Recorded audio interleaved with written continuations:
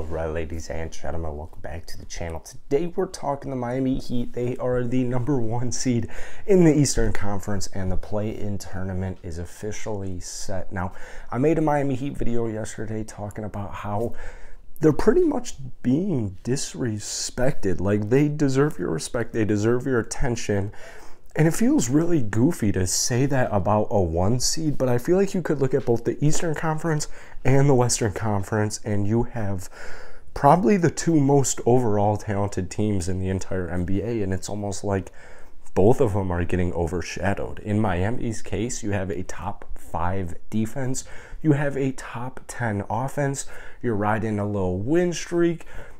Granted, um, keep in mind, regular season at the time of this recording is not officially over, but we do have the play-in tournament officially set. The seventh seed will be the, or the seventh team, I guess, will be the Brooklyn Nets. The eighth team will be the Cleveland Cavaliers. Nine, you have the Hawks. Ten, you have the Hornets. Now, we actually have a tweet here from Heat Muse about the Miami record against each team. The Nets, the Heat this season, three and one. The Cavs, one and two. That is by far the worst um, of all four of the play-in tournament teams. Three and one against the Hawks, and then four ago against four and zero oh against the Charlotte Hornets. Now, before we get into this video, actually, if you guys enjoy it, hit the like button, hit that sub button. Uh, posting a lot of Heat content, getting ready for the playoffs, and uh, you know getting ready for the play-in tournament that officially starts tomorrow. Let's try and hit 100 likes on today's video. That would be absolutely awesome. Every Heat video I make gets a lot of love, a lot of comments, a lot of likes from Heat Nation. So I appreciate you guys so much. Now, Miami, to me, I don't think they would lose actually against any of these four teams. So that's the good news. Now, let's take a look at this seventh seed because whoever gets this seventh seed is going to be it's almost going to be a little bit critical. Now, unfortunately, at the time of this recording, we don't really know who's going to be the two seed, but you have the Brooklyn Nets and you have the Cleveland Cavaliers. Now, if you ask me who is winning that game, as impressive as the, as the Cleveland Cavaliers season has been, I just think the Brooklyn Nets end up winning that basketball game. So they'll be the seventh seed, in my opinion. So I you know, don't think Miami really is going to have to worry about the Brooklyn Nets until they really actually have to. Now, looking at 9 and 10, Hawks versus the Hornets, that's going to be another interesting basketball game. I guess it really could go either way. If I had to give a prediction, I would probably go with the Atlanta Hawks just because they're pretty talented basketball team.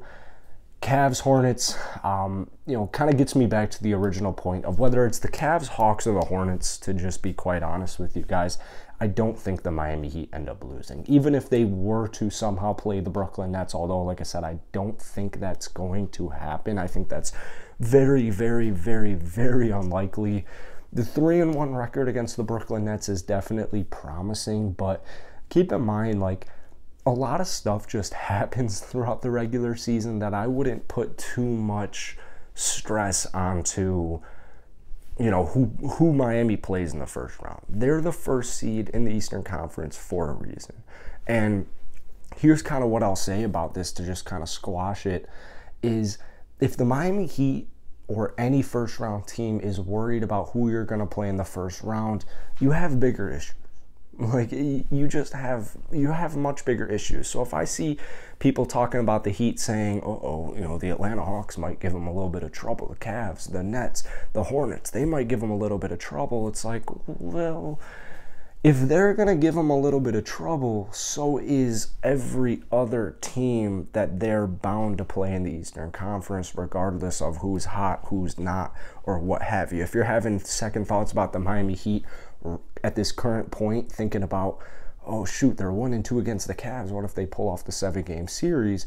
That's not the right framework to have. Like I said, top five defense will get you as far as you let them. Top 10 offense. Like you have all the intangibles, you have everything you could possibly need for a deep playoff run. I look at this Heat team and I think of guys like Kyle Lowry, I think of guys like PJ Tucker, Jimmy Butler, players who have been in the league for a, more than a handful of seasons. They have been in finals games. They have been in Eastern Conference finals games. They've won various awards. I look at Kyle Lowry with the Toronto Raptors. I look at PJ Tucker last year with the Milwaukee Bucks. There's a lot of things about this Miami Heat team that goes past the statistics. Yes, you do have nice defensive stats, you have nice offensive stats, you have nice stats in general, but overall, whether or not you think Miami is going to win it all, you at least have to give them respect because they have everything you could possibly need. You have bench threats and Tyler Herro, Duncan Robinson, Max Strus has been nice for him. You have Bam Adebayo, who is an all-star, 18 and 10. Like, give this man the respect he deserves. We've talked about Jimmy. We've talked about Kyle Lowry. We've talked about PJ. They just have so many different pieces that I'm really not worried whatsoever. Now, if I had to root for a team to get that eight seed, I'd probably go Charlotte.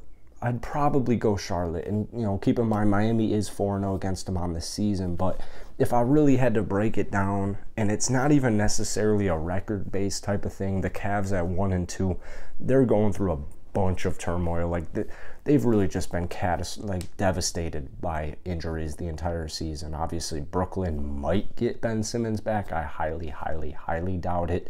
Um, Atlanta Hawks Eastern Conference Finals team last season. You have Trae Young.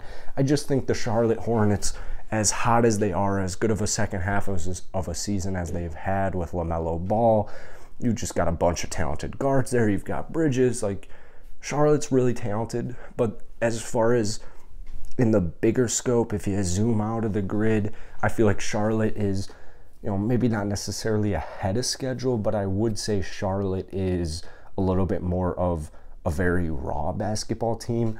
Cleveland's kind of a very similar situation, although I'm a little bit worried when you get Mobley and you get Jarrett Allen back, they could pretty much clamp up in the paint any team that they so choose. And if you have a really good series from guys like Darius Garland, if you have a really good series from Caris, if you have a really good series from Isaac, I wouldn't be surprised if the Cleveland Cavaliers somehow find a way to upset a team if they end up getting an eighth seed, so or a top eight seed. So that's really it for today.